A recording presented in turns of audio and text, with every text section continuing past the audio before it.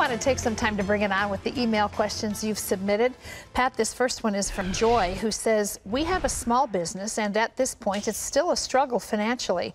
We're thinking of selling lottery tickets to add additional revenue. My question is Is it a sin to sell lottery tickets? Um, Joy, it's a sin for you because you're asking me for an advice. Uh, I, I can't say that for every state that sells lottery that all the people involved are sinners. But uh, I think gambling, in a sense, is the wrong way to make money. And I think that so many people are hooked on the notion of get rich quick, and so they waste all kinds of money on lottery tickets. And the odds of winning are just astronomically against you. So I don't think you ought to be selling lottery tickets. The Lord can give you ways of making money, okay? Okay, this is Pete who says, I understand that Paul talks about not worrying about eating meat sacrificed to idols, but meat quote, offered up through halal is more than just idol meat. I believe a portion of those monies collected are then sent back to support jihadist organizations and feel we should not purchase such items. But I'm seeing the halal brand symbol appear more and more on American products. What gives? Is this a part of political correctness gone awry? What are your thoughts on this? Well, the halal concept is you face the animal toward Mecca, then you slit his throat. Mm. So you say, all right, that's halal. So far, no problem. It's like kosher. That's okay. But our research shows, and our team has discovered, that a portion of all the profits from these halal butcheries is going to the Muslim Brotherhood. So it's not a question of religion, it's a question of where does the money go. So if you buy halal food, you're sending money to the Brotherhood. The Brotherhood, in turn, supports Hamas and, uh, you know, yes. Islamic Jihad, some of these other things. Well, not, not that, but Hamas particularly, mm -hmm. and, and uh, other radical organizations. So that, that's, the, that's the danger. All right. This is Lisa Pat, who says, My daughter recently purchased an amber teething necklace for our eight month old grandson. It's supposed to help with the pain and fussiness associated with teething. However, since the purchase, I've noticed that my grandson seems different. The sparkle in his eyes is gone, and something is just not right, although I can't really put my finger on it. I know that there are some of these crystals and stones used in wrong spiritual practices, but there were also stones in the breastplates of the 12 tribes. So my question is, do you think there could be spiritual attachments to these beads that are affecting the baby whose little spirit is innocent, pure, and open?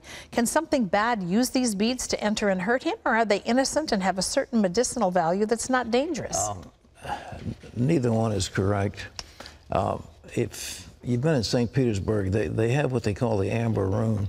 Uh, it was a famous room that was filled with amber. You get in there, there's an enormous amount of heat that's come off. Uh, the amber is uh, uh, the distillation of sap from these various trees over the years, and in it, you know, it, it the, the, beads are very beautiful. They're beautiful, really. But um, I don't think there's any spiritual connotation. But if a little kid is sucking on these things, he may be getting poisoned. Uh, so uh, it's it's not meant as a teething ring. So I think that's your problem. But I, I all the new age stuff about amber's nonsense. But uh, that's where they come in. There's so many other choices to give beautiful. a child. You, have seen that amber over there. Oh, well, Ukraine has a lot of it. In fact, yeah. they actually do pictures in amber with. Well, it's it's beautiful it's stuff. Beautiful. But it, it, I think it's the it's the sap. It, it, it, goes way back. I mean, sometimes hundreds of thousands of years. Mm-hmm. Uh, and you see some where they've caught little insects. Yes, I was just going to say they yeah. Have, so I mean, it's it's, it's quite interesting. Forget all the new age stuff. But if the kid is sucking on amber, he's probably getting sick. All right, what else? This is Cheryl who says, "How do I restore God's will in my life? Last year, I quit my job at a local TV station, and now I feel like I'm living outside of God's will for my life. Ever since I quit my job, I've been unable to find a job or keep a job. I'm I am always one month away from eviction. I also had breast cancer last year. How do I get God to restore His will for my life? At times, I feel like He's abandoned me. Where is He? I pray and ask that He please restore me, but I always wind up on the verge of eviction. Currently, oh. I have no money coming in, but when I do have money, I tithe. Cheryl, the thing to do, uh, you, you, apparently got out of God's will when you quit your job. You didn't ask Him. You made a major life decision, and I don't think you prayed it through. So the best thing to do is to go back to where your job was and say, listen, uh, is there any chance you could use a videographer or whatever you did and see if you can't get that job back? Uh, but God's not going to beat you up because you quit your job and went someplace else. God isn't that kind of person. But you might ask Him, say, Lord, I missed you. I, I went astray and uh, I, I wasn't listening.